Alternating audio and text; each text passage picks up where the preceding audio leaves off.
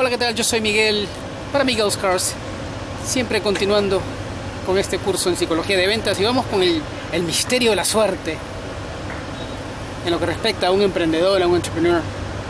¿Cuánto, cuánto hay de, cierto o cuánto hay de, falsedad o, o de, divergencia, de equivocación, de, desbalance en cuanto a decir determinado eh, emprendedor tuvo suerte, ¿no? Eh, ¿Y qué cree Miguel respecto de la suerte? ¿Qué creo yo en este caso, ¿no? Al respecto de la suerte.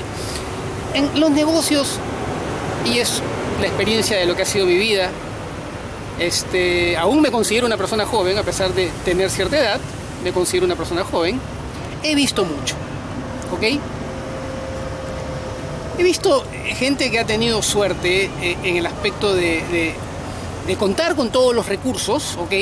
Para hacer negocios, es decir, eh, eh, contar con todos los recursos, no solamente económicos, sino sobre todo una, infraestructura ya totalmente armada, este, eh, con todo un circuito armado, ¿no? Y fue un poco lo que permitió en mi vida personal poder lanzar mi primer negocio.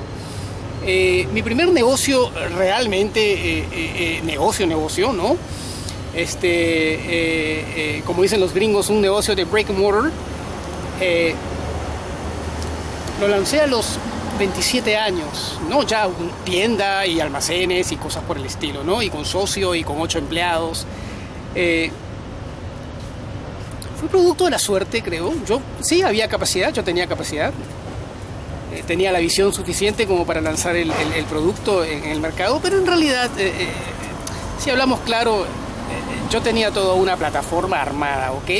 Que me viene por un tema familiar, así en una, una familia medianamente privilegiada, ¿ok? Entonces, ahí podemos hablar de cierta suerte, digamos, ¿no?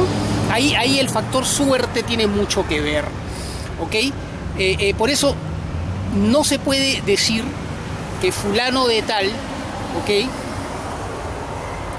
Eh, llegó porque tuvo simplemente suerte a determinado objetivo. Siempre hay algo más, ¿ok? En este caso en mí había esta, esta, esta enorme inquietud desde niño por los negocios, independientemente ya de ya contar con una estructura familiar. Lo vi en otras amistades, no precisamente en negocios, ¿ok? Pero lo vi en otras amistades que tenían eh, eh, eh, muchos vínculos dentro de la estructura de la sociedad, ¿ok? hacer carreras, siendo gente que no era tan capaz, ¿ok? Siendo gente que no había terminado, viniendo de las mejores familias, ¿ok? De, este país, no había terminado una carrera universitaria, tengo amistades que han comprado un título universitario, lo, que es, lo, cual a mí me parece un horror y han hecho carreras, sobre todo en bancos, instituciones financieras y cosas por el estilo. No porque el padre o el abuelo fuera el, gerente de operaciones eh, del banco, no, porque el abuelo era el dueño del banco, ¿ok? Estamos hablando de, ese tipo de amistades.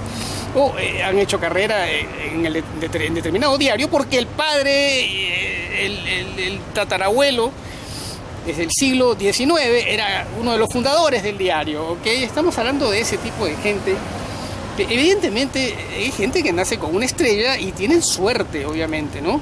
En el entrepreneur, en el emprendedor, el tema es diferente, ¿ok? He hecho toda eh, eh, eh, esta descripción preliminar para llegar a este momento, ¿ok? ¿Cómo acontece en la vida de un entrepreneur? Y, y es aquí a donde yo quería llevarlos a ustedes de alguna manera. También existe la suerte, ¿ok? En el entrepreneur también se da la suerte, pero la suerte eh, está, está este, eh, fundamentada en dos factores muy importantes. ¿okay? Dos factores muy importantes, quiero que me sigan porque los dos son eh, sumamente importantes y, se juxtaponen de alguna manera.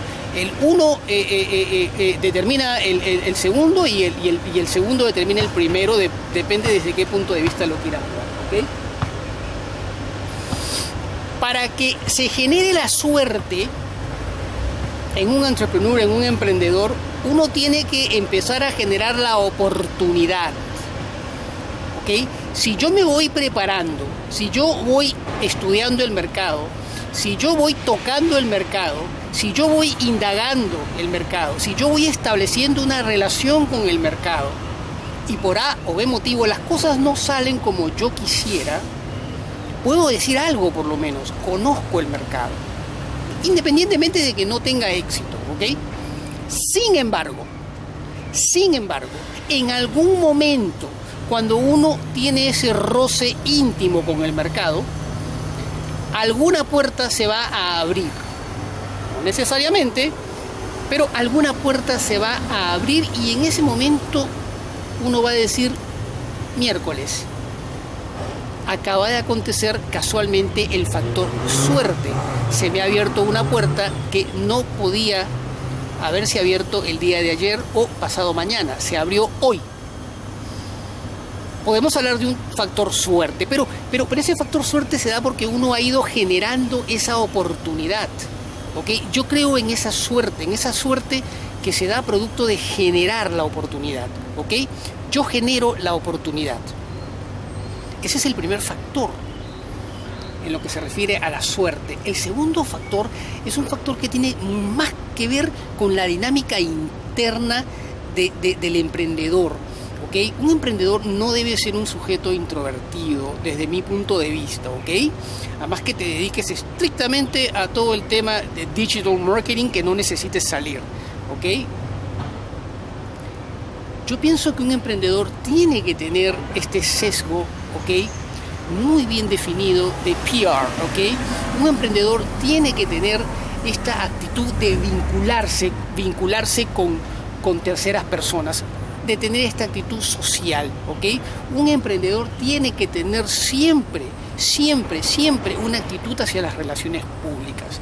Cuando ese teléfono celular suena y se presenta la oportunidad, tiene mucho que ver con esta actitud gregaria, con esta actitud social del emprendedor, de haber establecido, de haber hecho relaciones con terceras personas que en algún momento se terminan acordando de ti. Entonces, cada uno tiene un balance diferente. Yo soy, yo soy de repente mejor en un aspecto, ¿ok? y no tan bueno en el otro aspecto. Yo soy mucho mejor para generar la oportunidad que para el tema de PR. De repente tú eres mucho mejor para generar el tema de PR que para el tema de abrir la oportunidad. ¿Ok? Ya te puedes ubicar en alguno de estos dos espacios.